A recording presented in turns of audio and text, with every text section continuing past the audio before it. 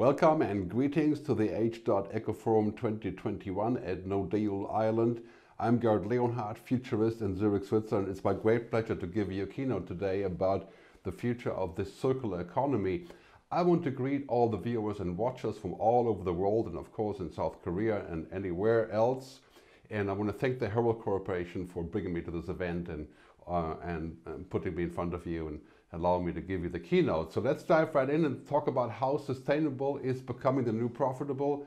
And let's start right here. We know, of course, that because of the COVID crisis, the world is becoming a different place. And it's not just a crisis anymore, it's also an opportunity for a reset.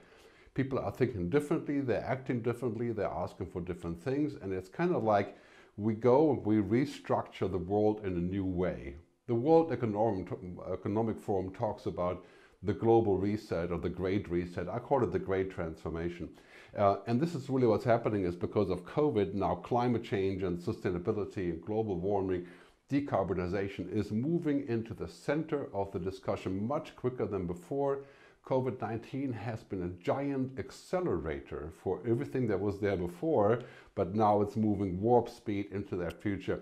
When we look at this great Google time lapse, Google Earth time lapse uh, recording of how the world has changed, this is Dubai, then we can safely say it's been mind-boggling how humans have changed the entire world, well not the cosmos, but the world uh, in, in, a, in, a, in a way that's been unprecedented and that's been so fast and exponential. We have arrived at the Anthropocene, you know, the, the, the point in time where humans are the dominating factor. And now we have to think about what that means and what kind of responsibility we have. Looking at the, the statistics here, I mean, one of them really interesting in, in my view is this one. I'll, I'll try to get, give you a little bit more space in seeing this one. um, this is the biomass of the world is now actually the first time the natural biomass of the world is, is less than the stuff that we've built. For example, concrete, metals, asphalt, and bricks. We've built more stuff than the entire earth weighs by itself. I mean, that is a mind-boggling statistic. And now we're moving into a future where basically what's happening is produce capital and money right, increasing, especially of course in developed countries, human capital, what we are uh, creating for ourselves, not really increasing very much, but total decline on natural capital. And of course, we know that can't possibly work because we're going to in the future where we're going to have more money, but there won't be any planet to spend it on. I mean, you can't do business on a broken planet. And yes, you can go to other planets, but that's some time off, right? So this is a very, very serious situation. I always say that we are at the fork in the road. Buckminster Fuller, who talked about dystopia and utopia. We are the place where we're making decisions every day about what our future can be and should be. And we're deciding the future of our children at every moment in the next decade and of course after that, because the next 10 years will bring more change than the previous 100 years. You know, we are at the intersection of possibilities. We can do everything, but will we do the right thing? This is of course the key issue. Climate change has been a discussion for 50 years, but Last year we saw in San Francisco, of course, the, uh, the great effects of natural disasters in California and the smog that was happening everywhere. And here are some facts from Bill Gates' latest book, right, the CO2 culprits. Making things, you know, cement, steel, plastic, that is a huge impact, plugging in, growing things, getting around. I mean, all of those things we have to tackle. But, you know, making things and plugging in and growing things, obviously that is going to be global decarbonization as a major effort. My view is COVID-19 is a test run for climate change. And especially in your region or in Asia, we have to think about what that means. That means we are able to make compromises because of COVID. And now we've learned if we work together, we can actually make it happen. It will take a bit of sacrifices for all of us and it will take wise government, which I'll talk about in a second. But, you know, Larry Fink, the biggest investor in the world, really from BlackRock Capital, he said he believes the pandemic, pandemic has presented an existential crisis. You know? It reminds us how fragile everything is and it's driven us to confront the global threat of climate change, uh, to, to act more forcefully. And like the pandemic, it will alter our lives. And now I think we're getting ready saying, well, we don't want another breakdown of everything like we did in the pandemic. we want to be prepared. We want to take action before it happens. We want to listen to the experts and the, sci- the scientists and de- develop wise policies. And this is why it's so great you guys are having this event. I mean, the future of our world is the circular economy, is sustainable, or there will not be a future. On the cover of, of Time magazine, just a couple of weeks ago, climate is everything. And that's not a new story, right? But this story is hot now. And it's the next big story. This is a story that everybody is believing at, even the most backwards corporation and countries in the world, right? The pandemic changed everything, and now it's climate's uh, turn of doom. That spurred by alarming science, right? The quote says, "We are finally waking up to say that climate is everything." This is a fantastic opportunity. The decarbonization of the world society in the next 10 years, trillions of dollars shifting new jobs being invented, new possibilities erupting, and then we can even go back and fix the damage, right? That is another thing we need to talk about. Right? Al Gore, who invented the term sustainable capitalism, says we're now finally at the long-awaited tipping point. That's why the timing is so good for your event, for your event, because I really think we, we have not seen anything yet. You know, you ain't seen nothing yet as the song goes, right? You may remember we're starting with the whole uh, transformation that COVID brought to us, and now it's about climate change, and the next is the new economic logic. Our current economic logic is completely broken. It will not solve the problem of the future. It's unfit. Capitalism as we know it is unfit for the future. That's not just me saying, that's like everywhere coming up. We have to change our economic logic to be more than profit and growth, to be about people, planet, purpose, prosperity, which I'll talk about in a minute. So that is a very big point. We are not going back to business as usual, even after the pandemic, when it does finally end, when we have a rebound. Business as usual is dead. And the companies that pursue business as usual will die as well. And your careers will die if you pursue business as usual. Business is unusual now. The business of humanity has dramatically changed. Moving, you know, take an example from the US, how their pivot happened just the last couple of months, right? We talk about turning the boat around. This will have huge impact on the circular economy and the future of the world, the decarbonization, what is happening in America and of course also in Europe. But on a global level, it's all going the same direction. Rapid decarbonization circular economy, sustainable, everything. And this is driven, of course, by technology as well. I call it big blue, tech, and big green. Those things are coming together because we're living in exponential times. You know, we're not changing linearly one, two, three, four, five, six, seven. We are leaping. And if you haven't noticed that, you should, because you know, what didn't work 10 years ago can work perfectly well today, like music in the cloud or cloud computing, intelligent machines, and the story goes on, right? Especially in South Korea, you have a lot of those innovations. So 1, 2, 4, 8, 16, we are leaping. Here's some facts. Moore's law, Metcalfe's law. Uh, Metcalfe means the power of networks, very powerful social network law, basically. Wright's law that things are getting cheaper when the production increases, and of course the original exponential law, Moore's law. This is the biggest mistake we can make is to not pay attention to this because in the beginning, the short-term view looks very much like the long-term view, right? It looks like this or, or, or, like this is almost the same. But the reality is that if we're not paying attention to the long-term view and that things are exponential, we're going to get derailed. And now we're at 4, right? 8, 16, 32, not 4, 5, 6, 7. Very important to keep that in mind as the game changes are coming. You know, I call this the game changes, the 10 rules of technology that are explosive, the 10 powers, right? Cloud computing, big data, the Internet of Things, uh, quantum computing, language translation, natural language processing, intel intelligent machines, AI, uh, blockchain, 3D printing, and of course virtual reality and so on. Basically what we're seeing here is a dramatic explosion of possibilities of technology as the cost reduction trend goes towards zero.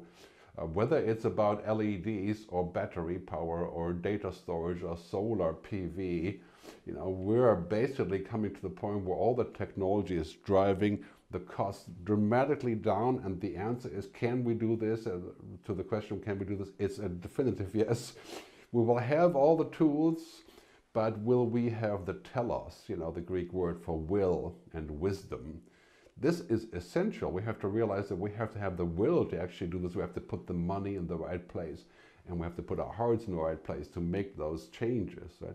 Sustainable everything has reached escape velocity. This is like the rocket that goes around the Earth at a certain point. It can cut free and go off to the, the cosmos, right? It's kind of like we have reached takeoff point for sustainable everything. It is possible, it's affordable, it's becoming more affordable, it's going to be much cheaper in the near future, and we can finally do what we have to do.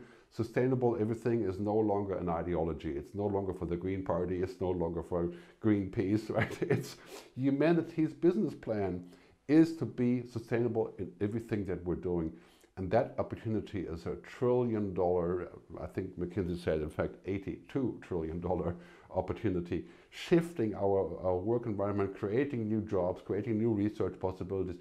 And our work's going to shift away from oil and gas and, and, and fossil fuels you know, to uh, renewable fuels. Right? The World Economic Forum has some really great stats on this, showing roughly 395 million new jobs in the next decade or two.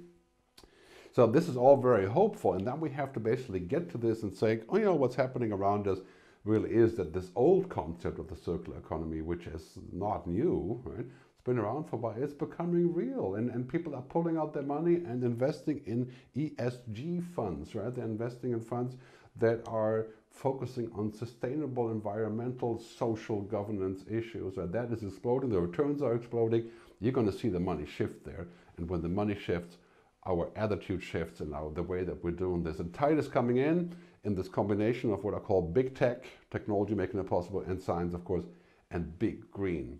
That is the ticket to the future, along, of course, with the right decision making, right? As the great divestment is, is essentially going on, you know, we're, we're seeing this move out of coal, and coal is already a thing of the past. You know, that was unthinkable just five years ago, but it's new, it's here, right?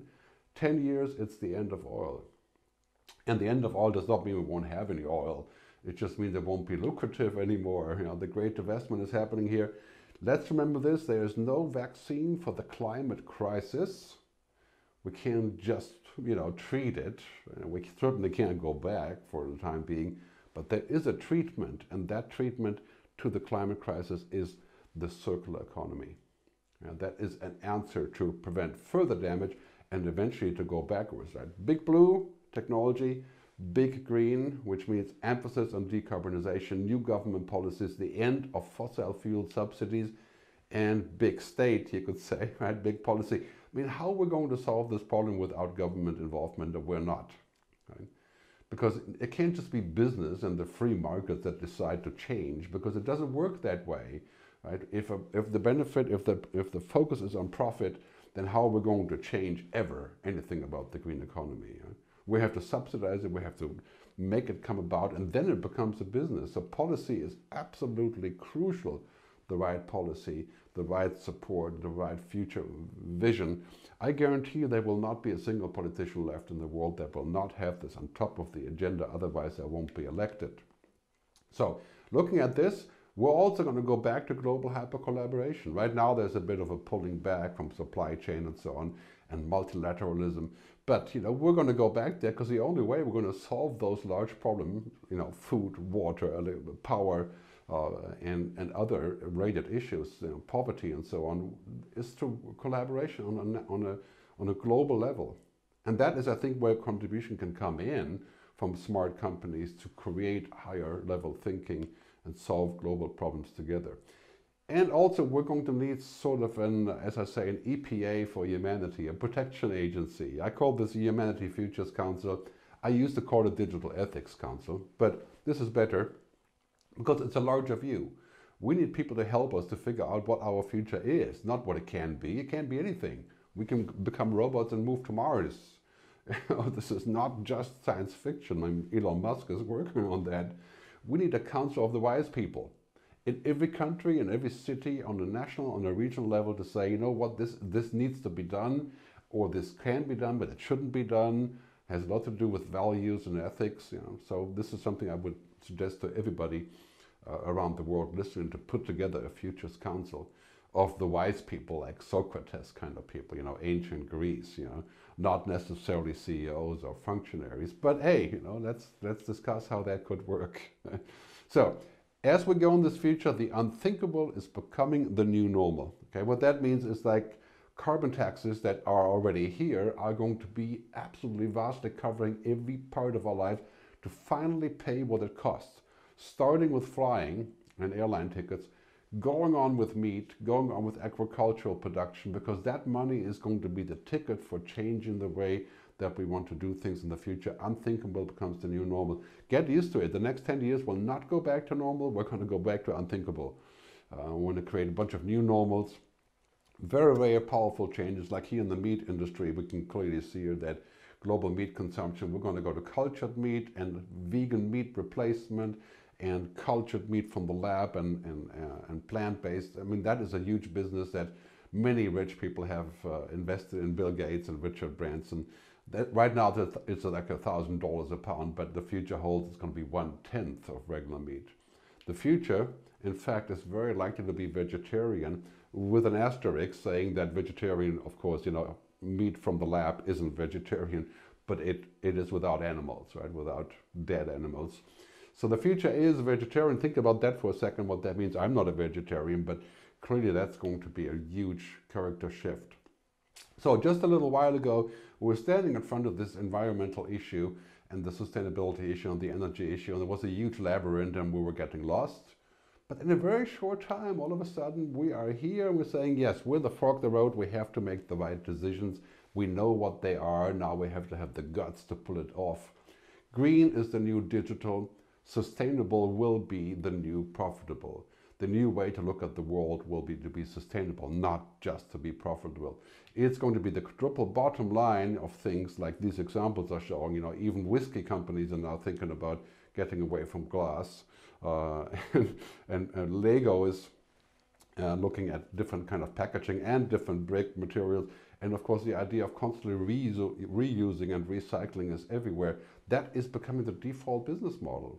Yeah, it's going to be more expensive initially, but the prices will go down. It will become cheaper than before, and it will have huge lifestyle consequences as we're trying to address this fundamental problem of messing up our planet for good and, and basically having to look for a way out in 20 years if we continue like this.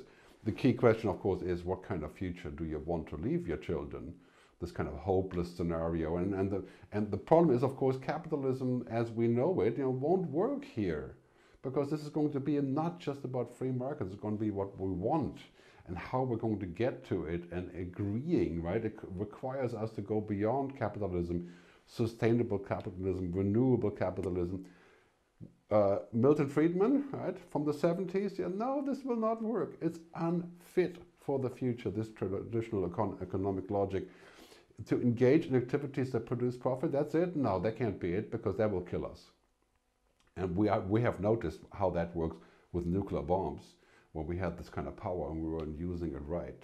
So very important, I think, for now to switch to this new paradigm, and I think this is totally crucial when we talk about circular, provides the argument that people, planet, purpose, and prosperity. Not just prosperity, not just profit. Right?